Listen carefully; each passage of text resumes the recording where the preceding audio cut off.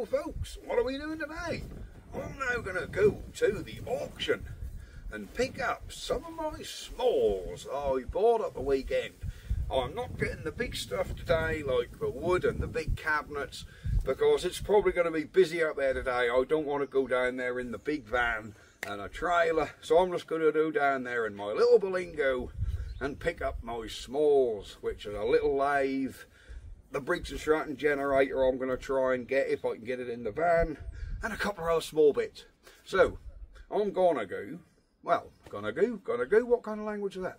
I'm going to, next time you see me I'll be back and in here with the van, hopefully, and yeah, we'll have some stuff. So we'll be back in a little while. Right, it's cold, I need my hat on. Here we go.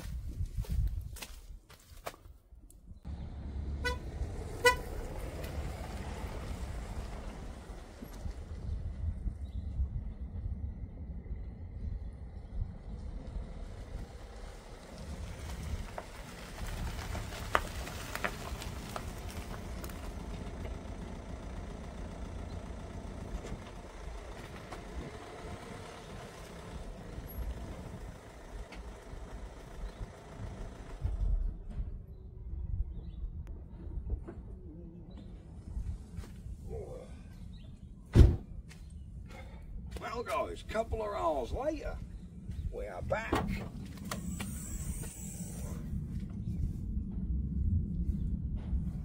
See what we got in there? Guess we better have a look, haven't we? Have a look, see what we have got in Man Cave's van. Alright, I'll put you here and we'll unload a bit of stuff. Oh, that silly reflection in that camera lens. I did order a new lens for my camera. They sent the wrong ones, guys. So what have we got? Well, Mrs. Mancave wanted this. She said that'll do for the eight building and the shed. So we got a Hoover. And it was a grand sum, I think, of two pound. Here I have uh, one drum of oil. Look at that. It is half full. Whew. 1540 diesel. Perfect for the old stationary engines. I know, you should have a solid 30 weight. Honestly, it's fine. Right. Half a roll of chicken wire. That's stored over here somewhere. Excellent. That's for when we do decide to get our chickens. I don't know what that bit of bar is doing in there. Right here. And I absolutely love this little thing. Ah, this is one of my stars of the show. The little lathe. Look at him. This is the little watchmaker's lathe. Isn't it just a beautiful little thing? Let's just hope the motor works. There we go. Robert Pringle and Sons. There we are. Right. We'll put it down here. Right. This generator. It's heavy. So I think, although it's on little caster wheels, I think I'm going to need some form of ramp. Oh, look how they've left some fan belts wrapped around it for me. These are very handy. I'm going to need some ramps to guide this down. Is there anything else I can be getting out? Hang on a second.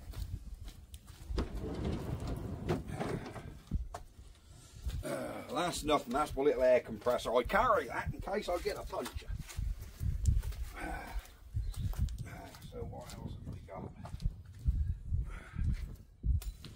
We have a winch. There it is. Hello. We have a winch, Harry B. That's one winch. That's a little belt winch.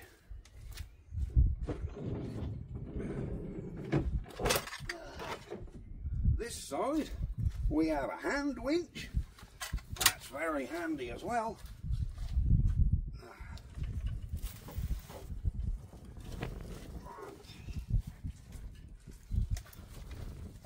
A whole box of four inch grinding discs. And if you're wondering how many's in there, we'll have a look at them in a minute. quite a few I think.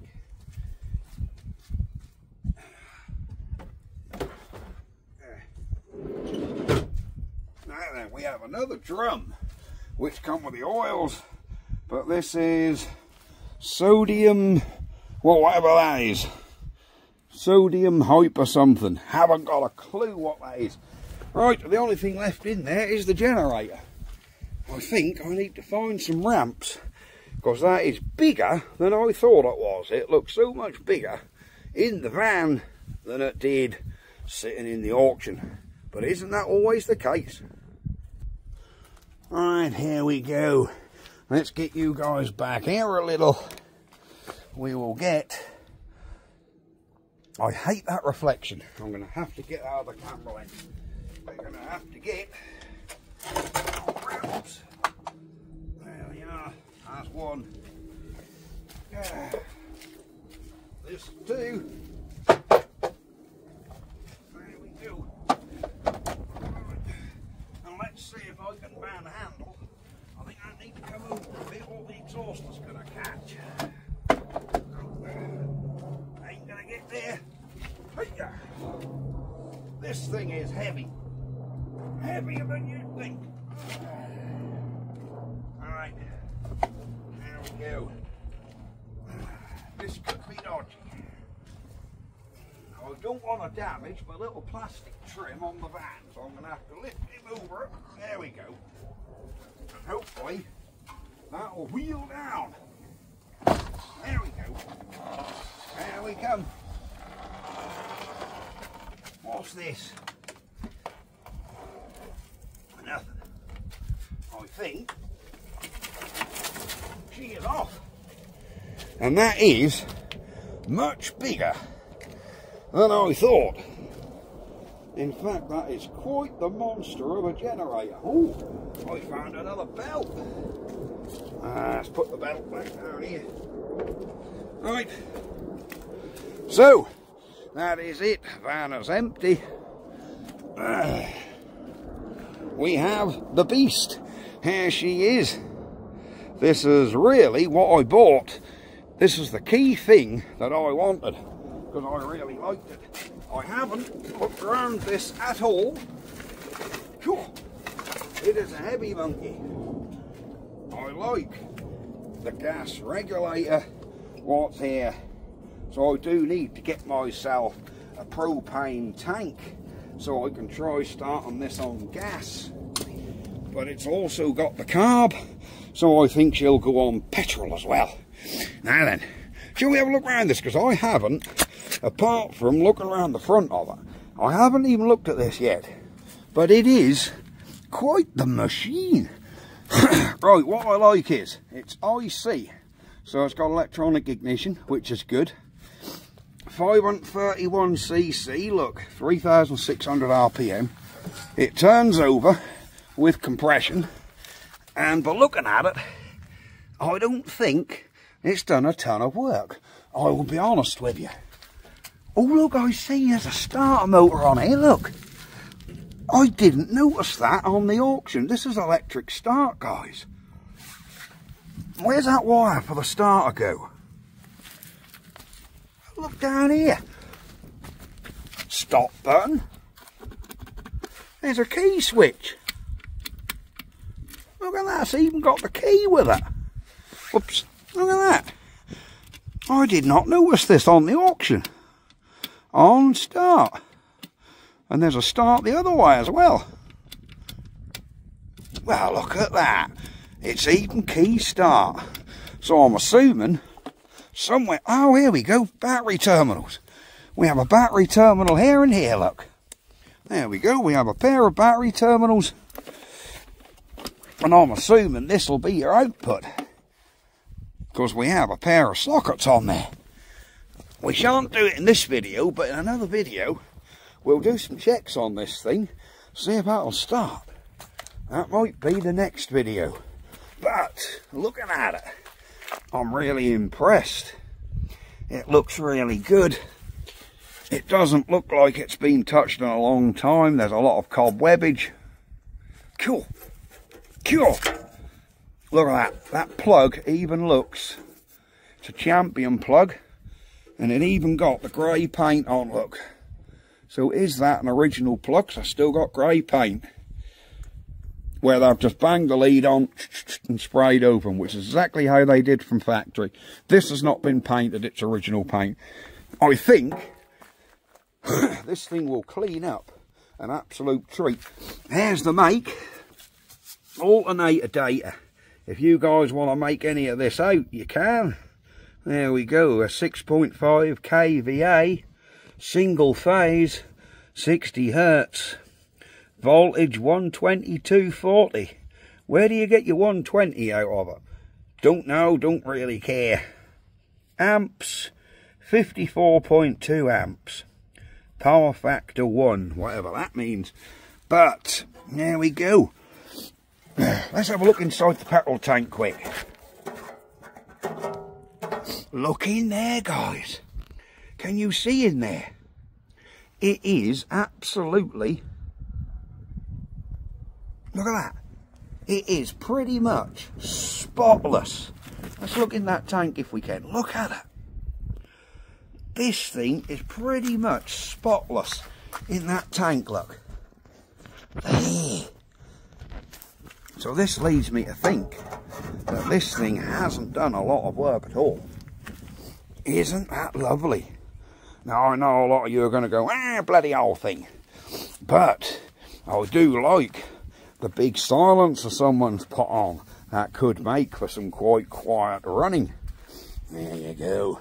But I do like how she's got electric start. Shall we just have a look at the oil level? Can we undo that? Cool! Cool, she ain't been undone in a while. Cool, she's undone. Have we got any oil? Oh, I ain't got a dipstick, look. That's just got the... Look at that oil. Clean as a whistle, look. The oil's not even black, guys. Honestly, that is clean. Oh, yes. That is clean as a whistle. So we've got good oil. Do you know, I reckon with some petrol and a battery, she'd start. Is she auto choke? Is it auto choke? So that'll do remote starting. Or is this manual choke? No, it's manual choke. I really don't care though, because some of these with electric start, so they could start remotely, they would have a um, solenoid what activated the choke when the engine was cold. This is loose.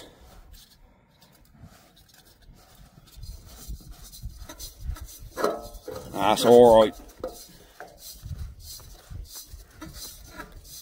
She's tightened up. She's good. I like how the gas goes on that elbow there. So I think this is probably a factory gas conversion. But I don't know. Now there you go. So on another video, we will be getting that thing, seeing whack a battery on. Save me pulling my guts out, doesn't it? We'll get a battery on there and see what she do. We might do a little bit of recommissioning before we that. You know, do my normal plug out, a little bit of oil down the bore. Maybe get some WD in there and squirt that starter Bendix. Because she could be dry. I can't see any other outputs here for that 110 business. But I'm not worried. If she's wired for 240, we're in the UK. That's what we need. But this thing, absolutely love it. Right, let's have a look at our cutting discs because I've been getting excited about that generator let's have a look about our cutting discs if you're wondering that generator I believe oh, beg your pardon I got a bad cough I believe I paid £65 for that generator I think and that was there was 25% to go on that these discs, I paid £25 for this packet of discs. But there is a lot. You know, I use cutting and grinding discs all the time. I mean, look at them. Well, there's even the leaflet in there, look, for safety. Look at these discs. I don't know how many. Well, these ones are a bit bigger, look. What these? Four and a half inch and these are four inch? Uh, let's have a look. Oh yeah, these are four inch, look. And these are uh, 115. So I think these are five inch perhaps. I don't know. Either way, they'll all go in my little grinder. I don't know how many we've got here, but for 25 quid, there's a lot. What's there?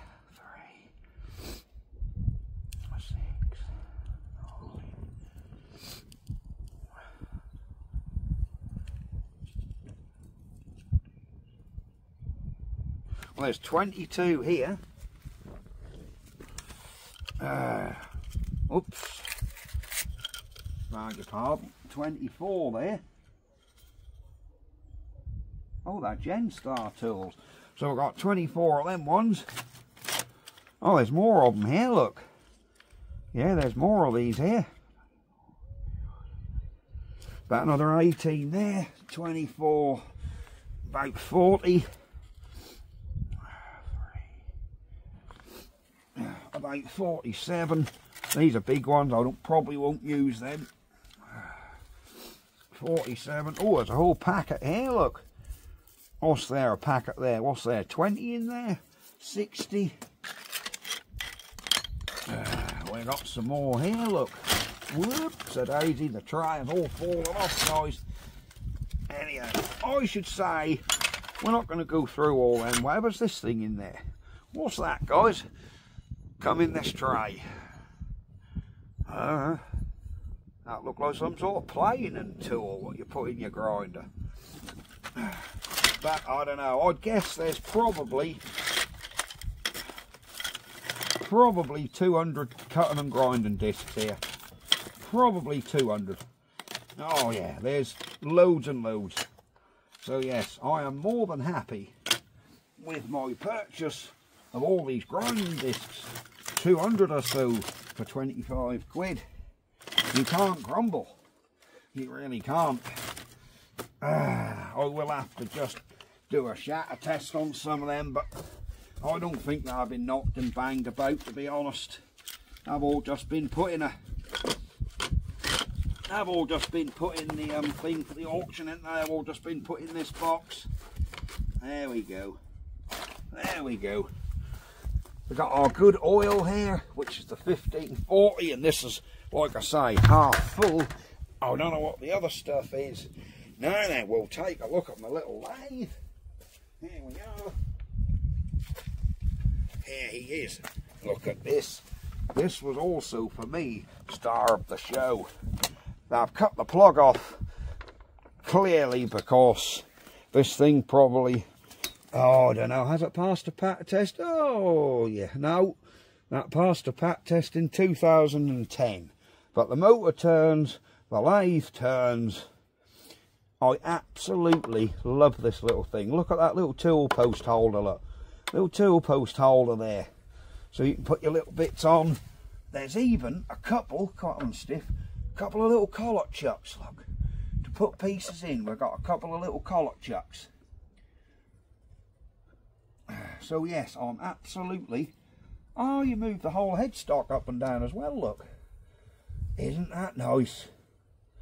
Yeah, this is a lovely little thing. Oh, look at that. Oh, you see that locks are in. So this does, this headstock will move up and down, look.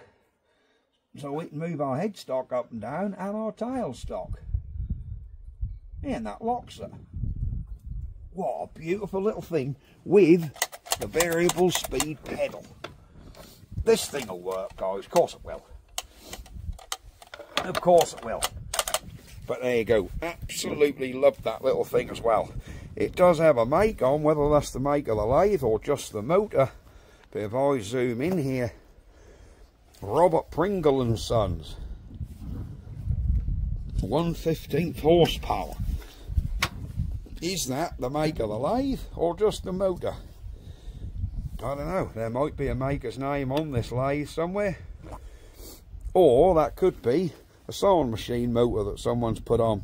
Do you know what I mean? Could be a sewing machine motor and pedals someone's just hawked on a bit of wood to run this little lathe. Shall we have a look, see if we see a maker's name on this thing? I haven't seen one yet, a maker's name. The eagle-eyed among you might see a maker's name on here. But it is extremely nice quality. What a beautiful little lathe. Isn't that lovely? Oh, really quite. Look at the little tiny oilers, look. Little tiny oilers. So you can put your drops of oil in. A little tail stock to hold things with a little dead centre in there. Oh, I love how you can just move your tool post up and down. Oh, you can adjust your angle on it as well, look. What a gorgeous little lathe, isn't it? Isn't that a little beauty? Someone's put a little polishing wheel in there, a little brass polish wheel in there. There we are. But there you go, guys. This is what we have collected from the auction today. I'm not going to show you the winches because they're just a pair of hand winches, which they were a tenner for the pair. I thought, that'll do. That'll do. Right, this is all the big stuff collected. Oh, the little stuff, sorry, collected.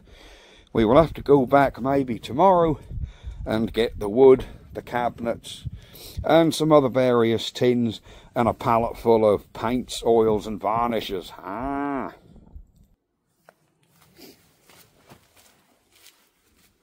But for now, guys, that's going to be it. So, we will be back uh, another time for another video. Ah, there we are. Right, I'll see you next time, guys. Thank you very much for watching. Like and subscribe. See you later. I'm really loving this generator down here. Such a beast. Bye bye for now.